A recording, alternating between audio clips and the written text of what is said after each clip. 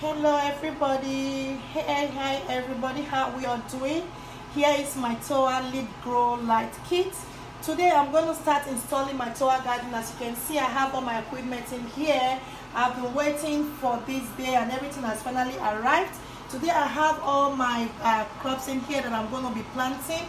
I have my red cherry tomatoes my sweet basil my black magic uh, dino kale my uh, gourmet lettuce uh, bright eggplant, market uh, more cucumber, uh, sliced tomatoes, uh, lettuce, gourmet lettuce, bok choy, sweet basil, anguilla, and uh, rainbow chard.